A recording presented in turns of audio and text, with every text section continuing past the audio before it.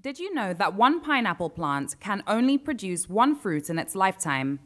In some rare instances, pineapple plants have produced two fruits, but there is no known record of more than that until now. At a pineapple farm in the Yewa North local government area in Ogun State, a pineapple sucker has just produced a record breaking 21 pineapples. Yes, you heard right. Here we have 300 acres of uh, pineapple plantation. And that is the reason why it is called First Massive Achiever Pineapple Republic. Now we have been cultivating pineapple, but something strange, something mysterious just occur in our farm. Every farmer, no, every uh, pineapple farmer knows and understand, knows and understand that a sucker of pineapple can only give birth to one fruit. But amazingly, we discover what has never happened in the history of the world that a sucker in our pineapple plantation gave birth to nine fruits. Then we have conjoined twins. The conjoined twins on a particular one up to 12. If you had nine plus 12, that is how, how many? That is 21. That is 21. It is beyond human imagination. No, it is not genetically modified.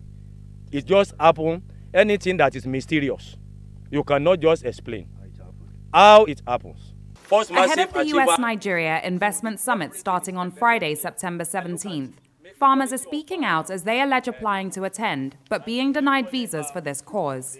For US uh, Nigeria Investment Summit, unfortunately, we are denied visa to attend that summit that's supposed to come up 17 and 18 of this particular month. We have something to say to the world because we wanted them to investigate what is actually responsible for this. If there is any way, this thing, there can be genetic modification whereby pineapple farmers can be harvesting three, four, five on a sucker because this is very strange.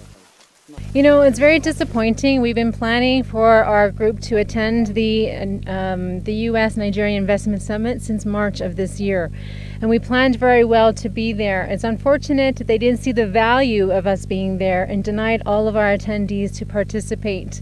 We are trying to be the voice for farmers of Nigeria, and you see what we can produce.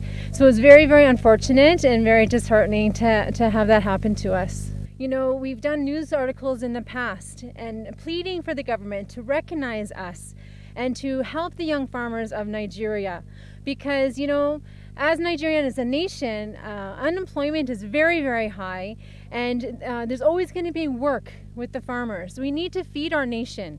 We need to end poverty. And how are we going to do it without uh, supporting our farmers? So, you know, we wanted to take this to the international level. I will take this to the international level personally because I will be attending the U.S. Nigerian uh, Investment Summit that is taking part this week. So, I hope that my voice will be enough to get people's attention. Despite the potential that Nigeria's pineapple industry holds, generating over 1.6 million metric tons of the fruit in 2019, the country is not a leading exporter of pineapples on the global market. So farmers and stakeholders are calling for investment and support to grow the industry and maximize its potential. Laila Johnson Salami, Arise News.